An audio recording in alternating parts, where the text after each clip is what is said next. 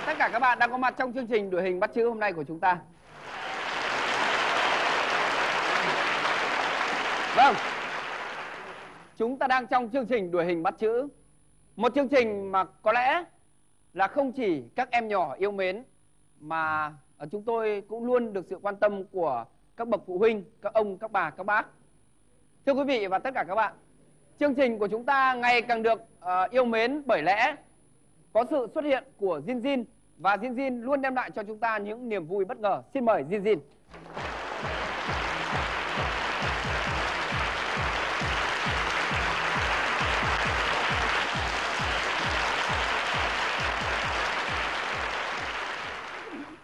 Thưa quý vị và các bạn, Jin Jin luôn rất chiếm nhiều chỗ. Ở chỗ đứng của tôi nhưng Jin Jin lại luôn đẩy tôi ra phía này nhưng không sao. Jin Jin thân mến, mình là những người bạn thân thiết mà.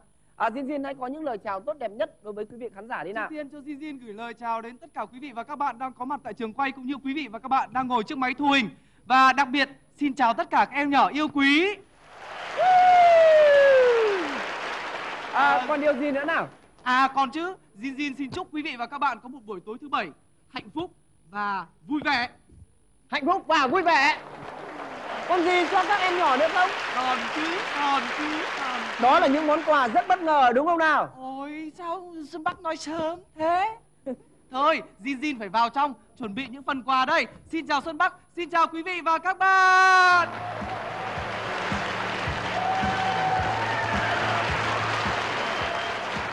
Lâu lâu không gặp uh, dạo này hình như Jin Jin có béo hơn một chút thì phải. Jin Jin cố gắng lên nhá. Thưa quý vị và các bạn, vâng, Jin Jin mỗi lần xuất hiện là luôn đem lại những điều bất ngờ và vô cùng thú vị. Còn ngay bây giờ chúng ta sẽ làm quen với hai người chơi trong chương trình hôm nay. Xin mời.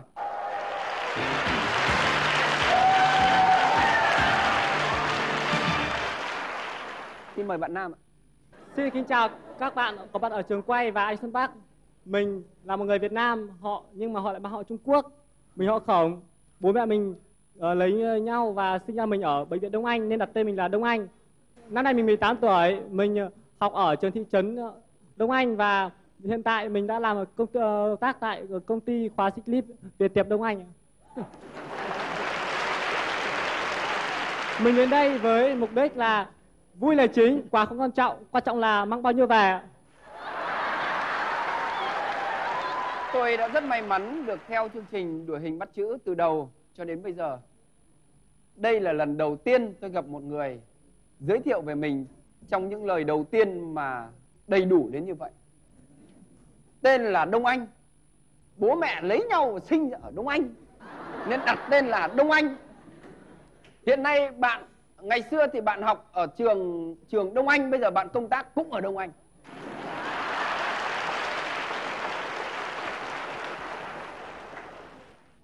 Tiếp theo, xin mời bạn. Xin xin chào quý vị khán giả và các bạn đang xem một chương trình. và chào anh Xuân Bắc ạ.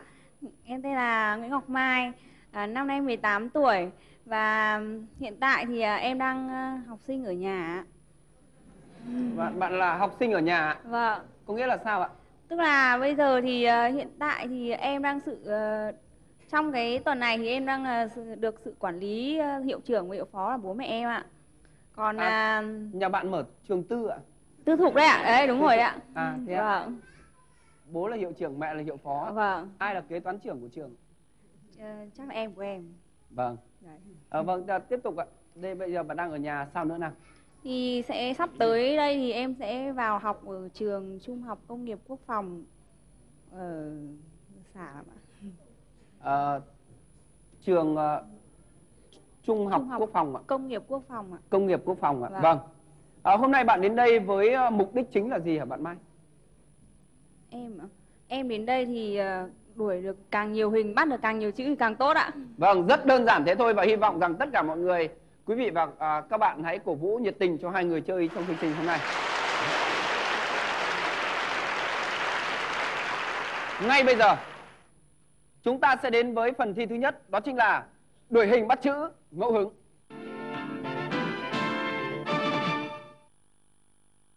Luật chơi chắc hẳn mọi người đã biết rất rõ nhưng theo nguyên tắc tôi vẫn phải giải thích. Trên màn hình có 9 miếng ghép, ở đây là những quả bóng bóng, bóng bay. Mỗi miếng ghép sẽ là một hình, mỗi hình sẽ là một câu. Với mỗi câu trả lời đúng các bạn sẽ giành được 100 điểm. Hai người chơi chỉ có 10 giây để trả lời và mỗi người chỉ được trả lời duy nhất một lần mà thôi. Vì vậy các bạn hãy trả lời thật chính xác và rõ ràng. Nào chúng ta cùng đi tìm xem đáp án miếng ghép thứ nhất là gì. Xin mời. Xin mời bạn Đông Anh. Tôm đông lạnh ạ. Gì ạ? Tôm đông lạnh. Tôi xin mở ngoặc đây là những con cua. Vâng xin mời bạn. Cua đá. Gì ạ? Cua đá. Chúc mừng 100 điểm đầu tiên. Cua sống ở hốc đá ven biển hoặc ở khe suối gần núi đá. Cua đồng có mai màu xanh xám và bóng như màu đá. Cua đá. Vâng. Tiếp theo, chúng ta đến với miếng ghép thứ hai. Đây là gì?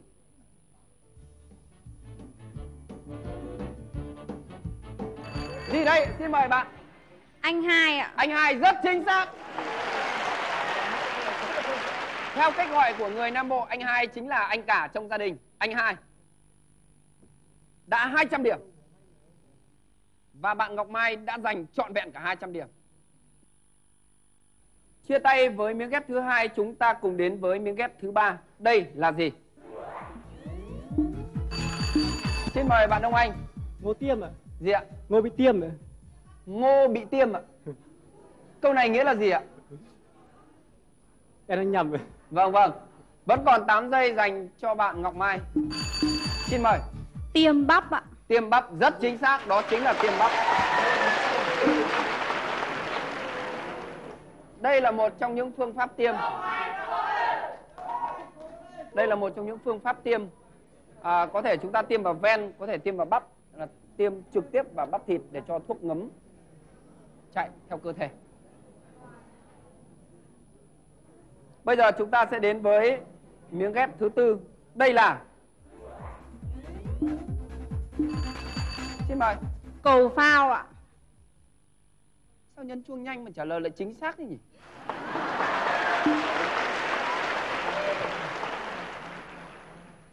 Vâng, đó chính là cầu phao. Một loại cầu nổi dùng các loại phao có sẵn hoặc ứng dụng như là che nứa hay là vỏ thùng phi làm chân và quyết định và sức chịu tải của cầu thì dùng những cái cái cái chân cái bộ phận nổi sẵn đó làm à, sức chịu tải của cầu. Và mặt cầu thường làm bằng ván gỗ hoặc che nứa. Cầu phao. Bạn ông anh thân mến bạn có sốt ruột không? Sợ run ạ. Còn bạn ngọc mai thế nào? Em bây giờ hết run rồi ạ. đương nhiên rồi. Vâng.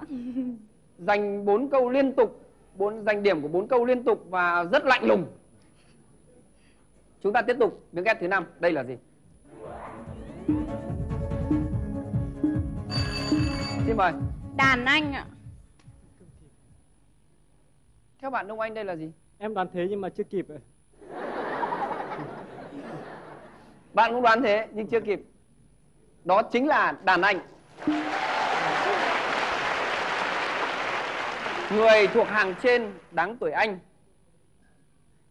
Người có năng lực cao hơn ở một số lĩnh vực nào đó hoặc vào nghề sớm hơn cũng được gọi là đàn anh chia tay với miếng ghép này. Bạn chuẩn bị đi. Chúng ta đến với miếng ghép thứ sáu. Xin mời đông anh.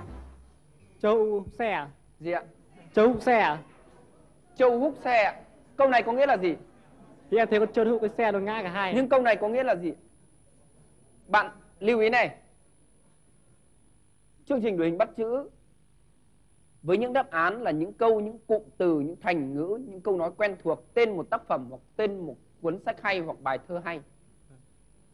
Thế còn mà châu cái gì? Châu Hút xe. châu hút xe thì cái tác phẩm này tôi chưa được đọc. Vâng vẫn còn 7 giây dành cho bạn ngọc mai. Đây là xin mời. Châu hút. châu hút châu hút có nghĩa là gì Em nghĩ là nó hút một cái xe thì chắc là châu hút ạ.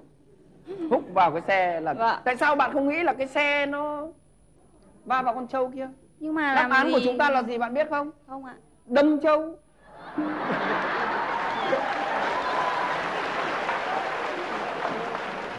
đâm châu đấy Vâng. lễ hội cổ truyền của các dân tộc tây nguyên hiến sinh mong tạ ơn thần và cầu xin được mùa đó chính là đâm châu bây giờ sẽ là miếng ghép thứ bảy. Xin mời. Vâng. Hoa chuối ạ. bạn được cộng thêm 100 điểm nữa đó chính là hoa chuối.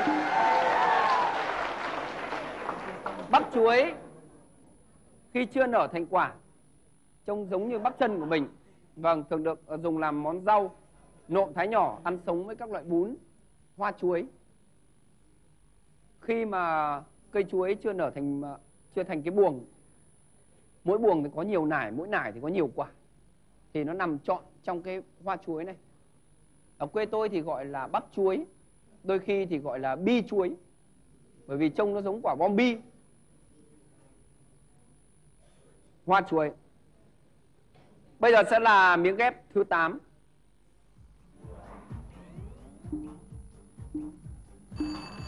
xin mời bạn. Xin mời.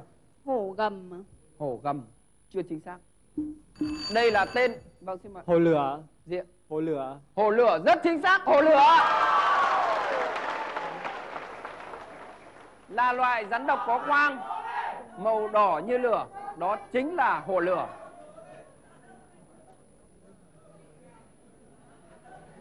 Bây giờ sẽ làm miếng ghép thứ 9. Nào.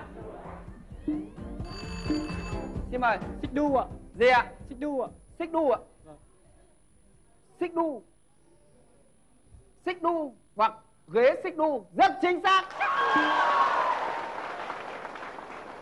Ghế ngồi có thể đu đưa. Bây giờ sẽ là miếng ghép thứ 10 trong phần thi thứ nhất. Đây là gì? Xin mời bạn. Chuột tha trứng gà, Chuột gì ạ? tha trứng gà, Chưa chính xác.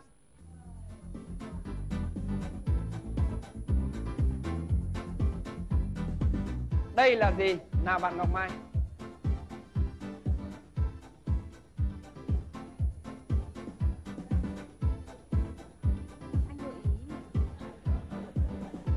Tại vì là một người à, hết quyền trả lời cho nên tôi rất khó gợi ý. À, bạn nhìn nhé. Đây là con gì? Gà mẹ ạ. Gà mái. Vâng. Đây là gì? Quả trứng ạ. Đây là gì? Chuột ạ. Con Quả chuột. trứng bị vỡ. Đây là gì? Quả trứng bị vỡ. Bộ phận nào của quả trứng? Vỏ ạ. Đáp án bạn đã tìm ra được rồi.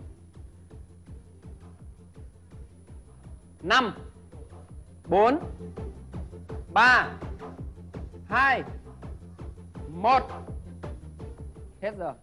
Quyền trả lời thuộc về quý vị khán giả. Vâng, xin mời. Em thưa anh đây có phải là chuột tha vỏ trứng không ạ? Chúc mừng bạn với một đáp án nữa vẫn lại không chính xác.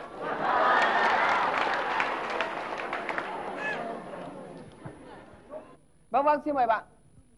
Em thưa anh, đây có phải là đáp án là chuột đội vỏ trứng không ạ? Chính xác đó là chuột đội vỏ trứng. Xin cảm ơn bạn. Xin mời bạn nhận quà của chương trình ạ.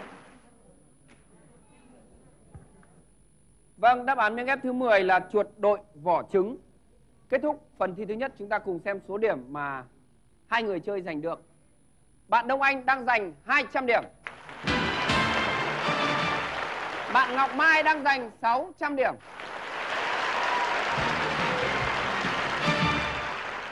Bây giờ, ngay bây giờ, chúng ta bước vào phần thi thứ hai, đó chính là đuổi hình bắt chữ theo chủ đề.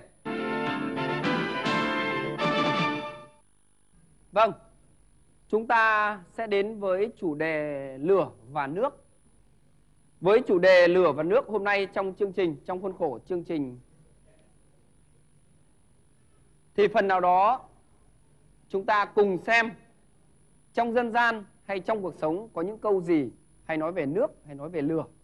Và chúng ta nhân cái nhân dịp này nhân dịp này thì chúng ta cũng hãy nêu cao tinh thần cảnh giác với giặc lửa để tránh những thiệt hại về người về vật chất rất đáng tiếc. Trên màn hình vẫn là 9 miếng ghép tương ứng mỗi miếng ghép vẫn là một hình và mỗi hình vẫn là một câu. Các bạn trả lời chính xác mỗi đáp án các bạn sẽ giành được 200 điểm. Nào Xin mời miếng ghép đầu tiên đây là gì? Xin mời bạn. lửa gần rơm. Gì ạ? Lửa gần rơm chưa chính xác xin mời bạn. Lửa gần rơm lâu ngày cũng bén hoàn toàn chính xác.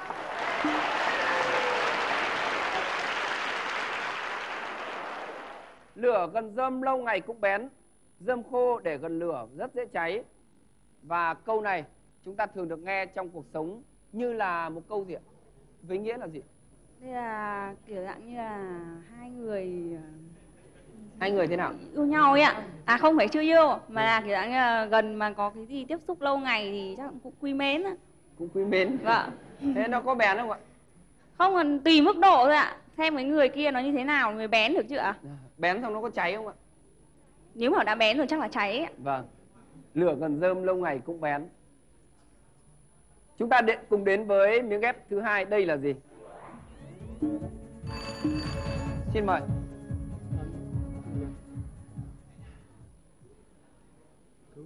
Một bức hình rất quen thuộc nhé. Tôi nói không phải là đáp án mà là bức hình này. Hình vẽ này rất quen thuộc. Một người đứng bên kia hô cứu, lửa cháy mà anh bên này thì vẫn huýt sáo vang. Tiếp tục phát hình. Xin mời.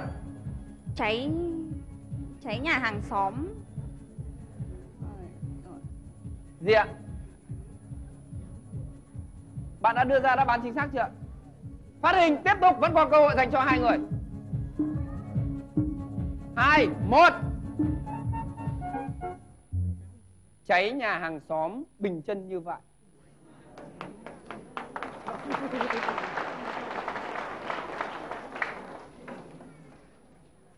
Chỉ thái độ ích kỷ, bàng quan, thờ ơ trước tai họa mất mát của những người xung quanh.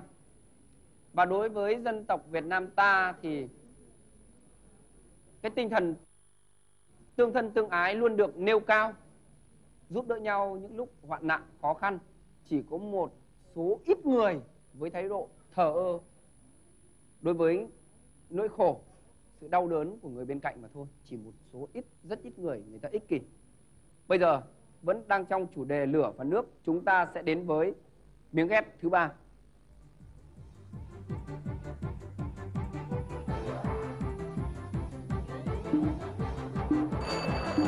Xin mời, xin mời Ngọc Mai. Đổ thêm dầu vào lửa. Rất chính xác, đổ thêm dầu vào lửa. Lửa đang cháy, đổ thêm dầu vào càng cháy hơn. Và ý muốn nói kích động, làm tăng thêm sự tức giận của người lúc đang nóng này. Đổ thêm dầu vào lửa. Xin mời miếng ghép thứ tư.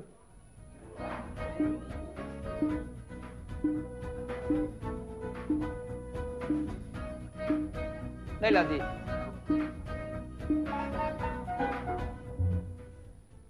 Đặt lửa, lửa đỏ, đặt cỏ, cỏ cháy. Đặt lửa, lửa đỏ, đặt cỏ, cỏ cháy. Ý nói quyền hành của một người nào đó.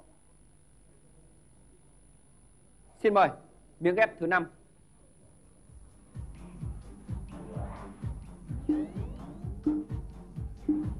Những trận lụt rất to.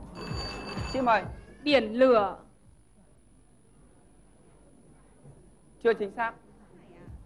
Những trận lụt lội rất to. Đó chính là chính là. Xin mời. Lũ lụt à? Hãy chú ý những lời gợi ý của tôi. Tôi gợi ý là những trận lụt lội rất to. Mà bạn nhấn chuông trả lời những trận lụt lội rất to đó chính là lũ lụt đáp án của chúng ta là đại hồng thủy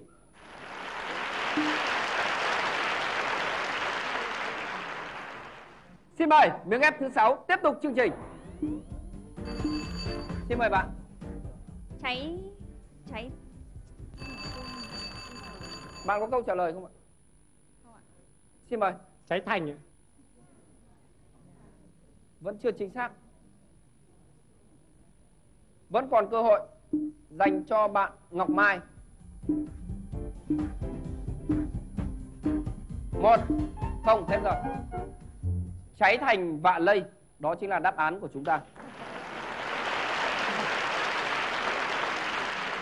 tai họa ở bên ngoài đưa đến một cách bất ngờ oan uổng cháy thành vạn lây và bây giờ sẽ là một câu nói rất quen thuộc chỉ sự bất lực trước hoàn cảnh éo le xin mời miếng ghép thứ bảy. Xin mời. Nước xa không cứu được lửa gần. Chúc mừng bạn.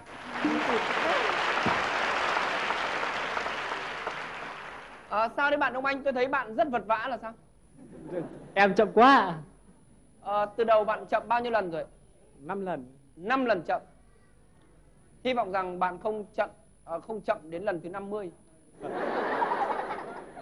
phải rút kinh nghiệm chứ. Nước xa không cứu được lửa gần. Xin mời miếng ghép thứ 8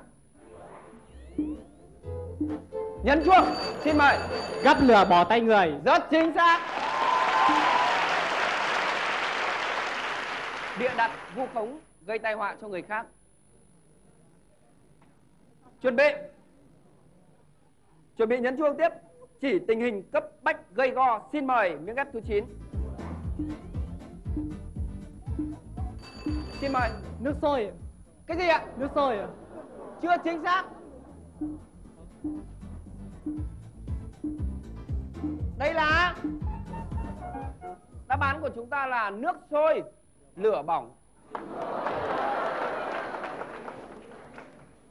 Một câu cuối cùng trong phần thi thứ hai là một câu cực kỳ đơn giản dễ hiểu thường được nghe thấy vô cùng quen thuộc. Điều quan trọng là các bạn có đủ nhanh tay hay không xin mời miếng ghép thứ 10 xin mời. Không có lửa làm sao có khói ạ. chưa chính xác bạn hơi vội vàng mất rồi. Xin mời. Cháy nhà ra mặt chuột. Rất chính xác.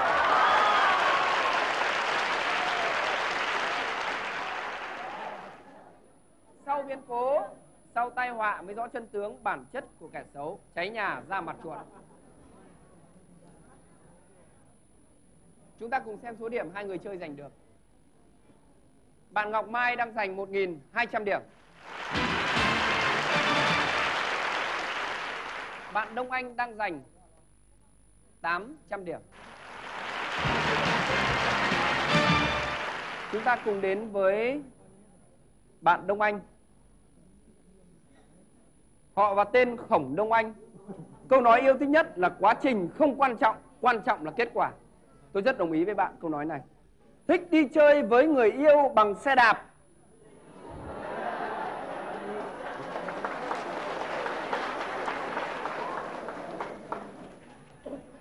mở ngoặc do người yêu đèo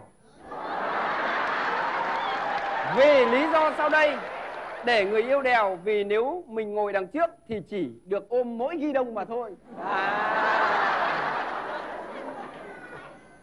em thì chủ yếu không quan trọng là ai đèo nhưng mà được ờ, nhưng mà đối với đi với người yêu ấy thì là em thích nhất là người, người yêu đèo. Vì người đằng sau còn có thể ôm người khác vâng. À, tôi hiểu tôi rất hiểu nhưng mà bạn có nghĩ rằng đó là bạn có thể à, bạn đang làm à, khổ làm mệt bạn gái của mình không? À, em nghĩ là tình yêu qua mọi chuyện à, vượt qua mọi thử thách ạ. Thật ra là chắc chắn người yêu không mệt đâu và bạn dồn hết mọi thử thách cho người yêu bạn. Em ờ, đạt được phần rồi à đạt một Vâng. phần đúng không? Vâng. mà biết đâu người yêu bạn cũng thích chở để được chúng ta tiếp tục. Thích đi chơi với bạn bè và gia đình thích ngồi một mình và không làm gì cả thích làm một mình và không làm ngồi một mình không làm gì cả thích màu trắng và màu đen hai cái màu tôi đang mặc đấy vâng Vâng. Thích chàng thủy tinh chân tình. Cha. Thích thủy tinh ạ. Vâng. sao bạn lại thích thủy tinh? tại vì thứ nhất là thủy tinh là một người có tài ạ khi mà vua hùng thì ờ, đã ra điều kiện cho thủy tinh ờ, và sơn tinh thì vua hùng lại ưu tiên sơn tinh hơn mà thủy tinh vẫn đáp ứng được thứ hai là dù bao nhiêu năm qua đi hàng ngàn năm qua đi mà thủy tinh vẫn chung thủy với người ờ, mình yêu vẫn đi đòi cô vợ đã mất. À, vâng. Dù ờ, nhiều năm đã qua đi, rất nhiều nhiều năm rồi mà thủy tinh vẫn yêu mỗi một người mà thôi. vâng Và hàng năm vẫn cứ dâng lên để đòi, đúng không ạ? vâng Để đòi người yêu mình về. Vâng, đó cũng là một quan điểm. Quan điểm về tình yêu, quan điểm về cuộc sống. tiếp theo chúng ta sẽ đến với bạn Ngọc Mai. Ngày cất tiếng khóc chào đời ngày oe oe ngày mùng 6 tháng 12. Sở thích úi giời sao mà khó giữ. Cái gì em cũng thích. Thích hoa hướng dương. Vì sao? nó luôn luôn hướng đến mặt trời anh ạ Vâng, luôn luôn hy vọng, luôn luôn Vâng, cố gắng đúng hướng ạ. tới mặt trời. Con vật cưng, mèo là số 1. Bạn thích mèo thế cơ? vâng Ở nhà bạn nuôi mèo không? Có ạ Mấy con? em nuôi một con thôi ạ Quần áo không cũ, không mới, nói chung là bình thường, vâng tức là không không không thích quần áo cũ mới. không ạ ý của em là kiểu dạng như là bây giờ mốt theo xu hướng nào đấy ấy, thì em là nếu mà quần áo mà không theo cái xu hướng mới mà em vẫn mặc đẹp thì em vẫn thích hoặc là cũ thì em vẫn thích Vâng. Ghét, ghét những ai ghét mình. Tôi đồng ý. Ghét bị bỏ rơi, bạn đã bị bỏ rơi bao giờ chưa?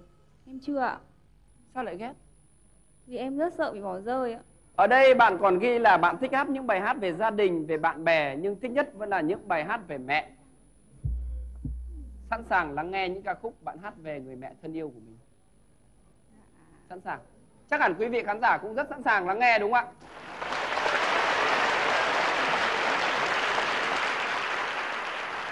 Em sau đây em sẽ hát bài lời du mẹ hiền ạ. À ơi à, lời du âu yếm, mẹ ru con trông con những đêm ngày. Bàn tay mẹ bao sương gió qua rồi, ngủ ngoan con nhé, luôn có mẹ ở bên. Rồi con lớn bay đi khắp muôn nơi, bay đến nơi nào con cũng muốn có mẹ. Ở nơi đó vẫn có mẹ ngày xưa. Mẹ luôn bên con, sẽ mãi không rời xa. Mẹ hiền yêu hỡi qua bao tháng năm rồi, Mẹ luôn bên con, dù con lớn lên người. Mẹ mong cho con bay đến khắp phương trời. Từ nay con sẽ vẫn mãi luôn cười vui. Mẹ ơi, có biết con đã lớn con rồi. Từ nay con sẽ sẽ mãi nhớ ơn mẹ, Người dạy cho con những bước đi đầu đời, Và lời ru ấy sẽ mãi trong lòng con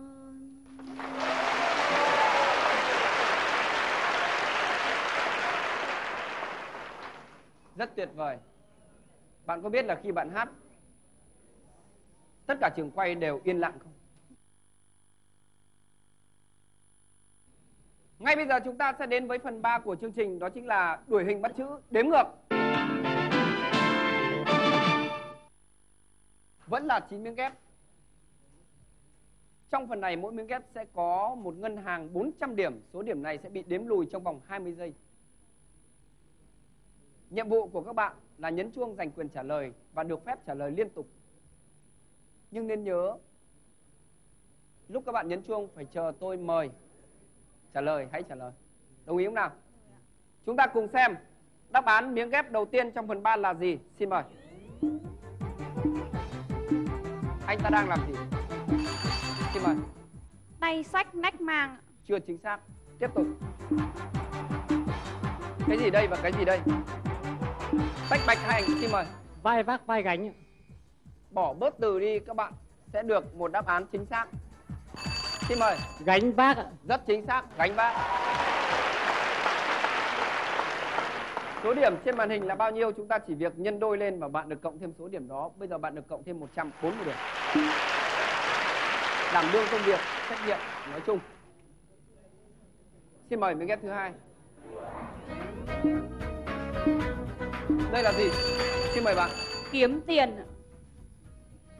Chưa chính xác.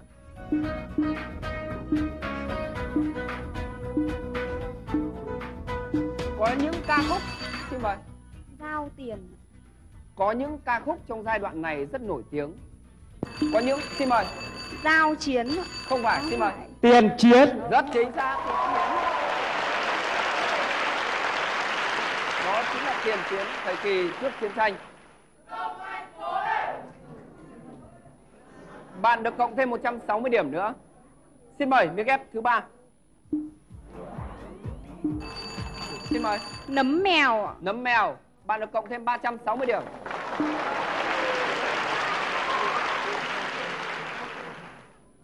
Cách gọi khác của Mộc Nhĩ. Bây giờ sẽ làm miếng ghép thứ tư.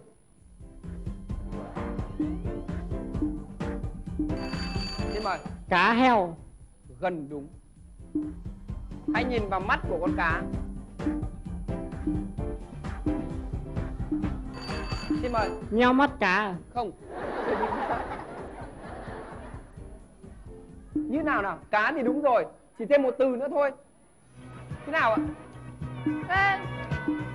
Nếu bây giờ bạn xin mời, cá nheo bạn được cộng thêm 40 điểm. Cá nước ngọt đầu xám, da trơn, đầu bẹt, miệng rộng và có hai đuôi râu nhỏ. Xin mời, miếng ghép thứ năm đây là Xin mời. bò lê Chưa chính xác, chưa đủ, cố gắng lên, xin mời. bò lê bò càng ạ Chưa đúng. Kia. Xin mời. Bò lê, bò càng. Không phải, kia. Đọc chữ, đọc chữ, xin mời. bò lê bò la Rất đúng. Bò dưới đất hết chỗ này đến chỗ khác thường nói về trẻ em đang tập bò, tập đi. Nào. Xin mời miếng ghép thứ sáu. Đây là, đây xin mời. heo sữa Gì ạ? heo sữa chưa thực sự chính xác với đáp án của chúng tôi. Mặc dù có thể có những từ phát âm nhưng đồng nghĩa nhưng mà vẫn chưa chính xác. Đúng rồi Sim ơi, Lợn sữa. rất đúng. Phải lắng nghe gợi ý. Đó chính là lợn sữa. Lợn con mới sinh được nuôi cùng với lợn mẹ, ăn nguồn thức ăn chính là sữa mẹ, sữa của lợn mẹ. Chúng ta chuẩn bị đến với một hình vẽ mà chắc chắn các bạn sẽ biết đây là nghĩa là gì nhưng phải nhanh tay. Xin mời miếng ghép thứ bảy. Đây là một cái đền. Hãy nhìn xem đền gì, đền thế nào. Xin mời. đây con voi à Không đúng. Nào. Xin mời. Đền ông voi. Không phải. Xin mời. tượng đàn ạ Gì ạ? tượng đài à Không đúng.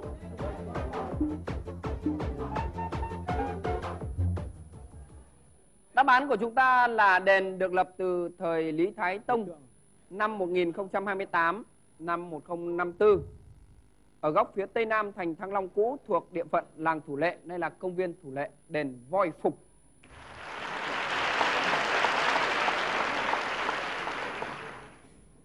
Bây giờ sẽ làm miếng ghép thứ 8. Đây là gì?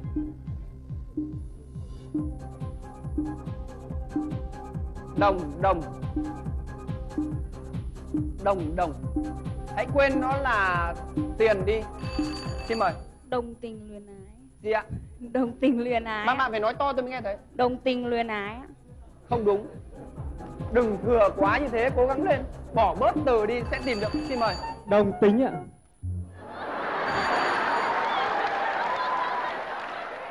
Đồng tình ạ. Đồng tình là chính xác, Đồng tình và đồng tính là khác hẳn nhau. Đáp án của chúng ta là đồng tình. Bạn Đông Anh à, đưa ra đáp án là đồng tính, Khác nhau hoàn toàn. Cùng một ý nghĩ, Cùng lòng như nhau, Tán thành, có cảm tình, Được gọi là đồng tình. Xin mời miếng ghép thứ 9 các bạn hãy nhìn hai con ngựa. Hãy so sánh vẻ đẹp của chúng với nhau. Mũi tên đang chỉ vào cái gì Đó là điều chúng ta cần phải nhấn. Con ngựa này trông thế nào ạ? trắng. Trắng. Trông có vẻ gì ạ? So sánh về nhan sắc của nó thì Rất đẹp. Hết giờ đáp án của chúng ta là Xấu mã.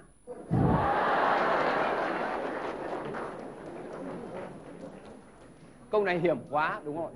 Hiểm quá, xấu mã, vẻ bề ngoài không đẹp. Hai bạn thân mến, số điểm đã có sự chênh lệch. Cố gắng lên, đây là cơ hội cuối cùng. Xin mời miếng ghép thứ 10 quả chuối nó lại che mất.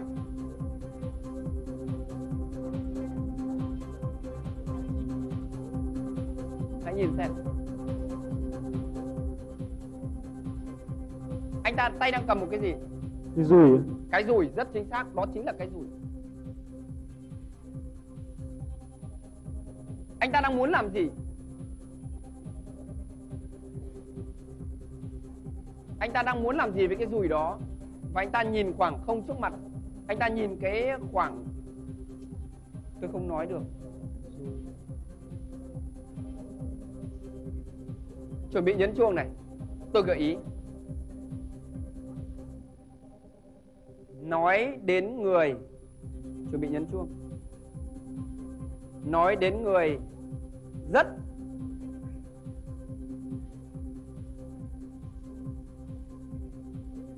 rất nghèo khó. Đề nghị quý vị khán giả không nhắc. Nói đến người rất nghèo khó. Nói đến những chàng trai đang còn long đong lật đật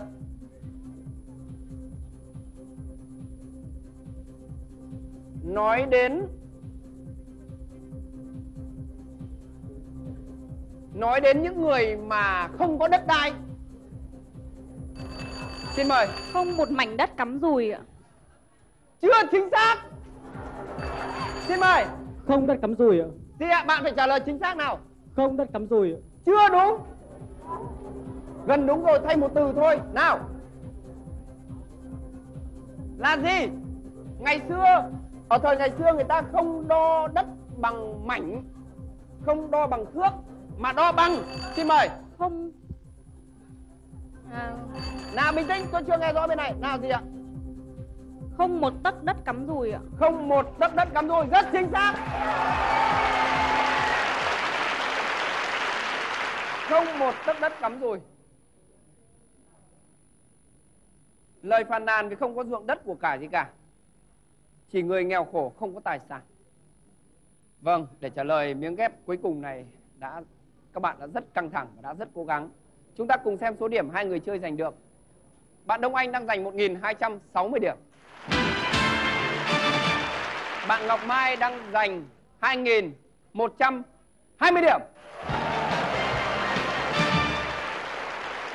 Rất tiếc phải chia tay với bạn Đông Anh. Chắc hẳn bạn đã để lại rất nhiều ấn tượng sâu sắc đối với người xem trong chương trình hôm nay. Xin mời bạn nhận quà của chương trình và nhà tài trợ.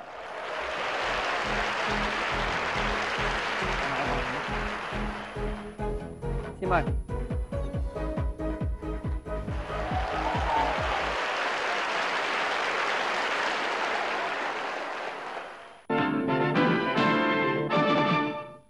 À, xin hỏi bạn tên là gì?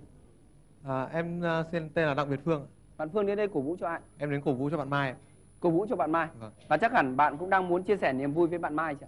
Vâng, em à, chúc bạn Mai à, sẽ à, thi tốt vòng cuối cùng và chiến thắng. Vâng. Cảm ơn bạn rất nhiều và xin mời bạn chọn đáp án.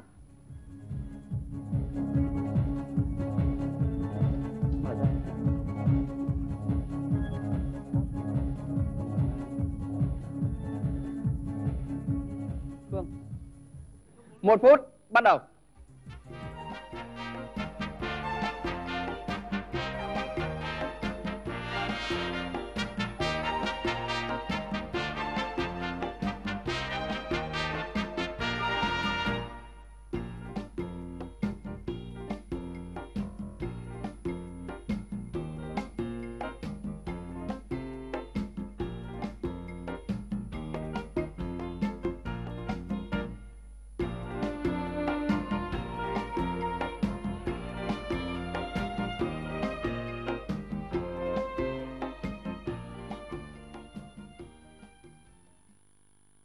Tên một bài thơ trong sách tiếng Việt.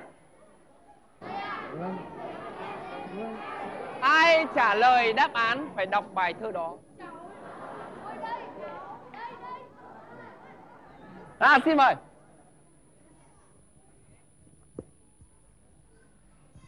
Em thưa anh là mèo con đi học ạ. Mèo con đi học, đọc luôn. Hôm nay trời nắng chang chang. Mèo con đi học chẳng mang thứ gì. Chỉ mang một cái bút chì và mang một mẩu bánh mì con con. Vâng. Xin mời. À, xin hỏi bạn tên là gì? Em là Nguyễn Tuyết Mai ạ. Em là em chị Ngọc Mai ạ. Là em của chị Ngọc Mai. Vâng. Thằng nào tôi nhìn tôi cứ thấy quen quen. Vâng, xin mời xin mời à, bạn Mai nhận quà của chương trình. Xin mời. Em cảm ơn ạ. Đáp án đúng của chúng ta là mèo con đi học. Mèo con đi học.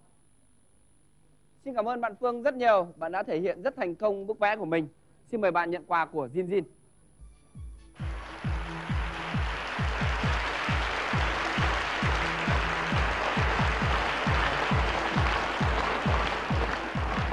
Chủ nhân chiếc ghế đỏ trong chương trình hôm nay đó chính là bạn Ngọc Mai với 2.120 điểm. Xin mời!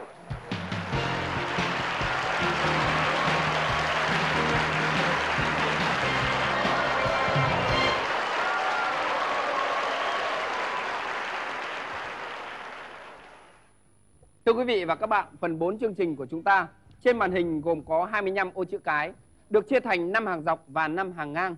Nhiệm vụ của bạn Ngọc Mai trong phần thi này là bạn phải đi từ bên trái sang bên phải khuôn hình trong vòng 60 giây.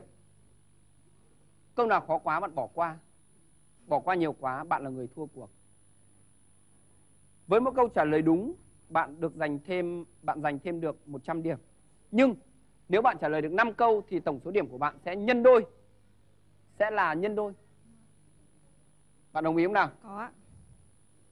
Ngay bây giờ chúng ta sẽ đến với phần thi thứ tư của chương trình đó chính là đuổi hình bắt chữ siêu tốc. Xin mời chữ A. Đây là gì? Đèn dầu. Chưa chính xác. Đèn dầu được ở đâu và chỉ có hai từ. Được treo ở đâu? Qua ạ. Đáp án của chúng ta là đèn vách. Đây là gì? Con gì đây? Cóc ạ. Con cóc. Ai đó đang làm gì? Và đây là một hành động Bắt gì cóc, ạ? bắt cóc ạ. Rất chính xác, bắt cóc. Đây là gì? Khi chúng ta đi trên đường chúng ta hay gặp Biển, biển số. không phải, đây không phải biển số mà nó cái số đang ở đâu? Là gì ạ? Là gì? Có qua. Bỏ qua đáp án của chúng ta là cột số. Đây là gì?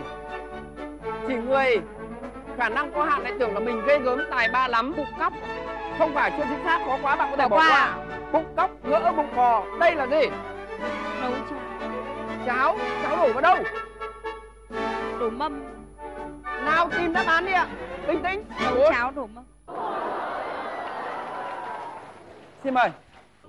Rất đáng tiếc trong vòng 60 giây bạn Ngọc Mai của chúng ta trả lời được thêm một câu. Tổng số điểm của bạn bây giờ là 2.220 điểm. Chúng ta cùng chào bạn Ngọc Mai và bạn ra về với phần quà của nhà tài trợ cộng với số tiền tương ứng số điểm bạn giành được. Xin mời. Em cảm ơn chương trình. Vâng vâng vâng. Và đây là chiếc thẻ MTV bạn có thể sử dụng nó trên hơn 200 quốc gia trên toàn thế giới gửi tặng em. Vâng nhân đây cũng xin gửi tặng. Vâng người chơi ờ, mà chúng ta vừa tạm thời chia tay đó chính là bạn Đông Anh. Chương trình có một món quà rất đặc biệt gửi tặng cho bạn. Chúc bạn mạnh khỏe, hạnh phúc. Thưa quý vị, chúng ta vừa theo dõi chương trình đuổi hình bắt chữ. Chương trình được thực hiện bởi Đài Phát thanh Truyền hình Hà Nội kết hợp với sữa Zin Zin sản xuất. Mọi chi tiết xin liên hệ Ban Thể thao Giải trí Đài Phát thanh Truyền hình Hà Nội số 5 Huỳnh Thúc Kháng Hà Nội. Bây giờ xin chào và hẹn gặp lại quý vị. Xin chào.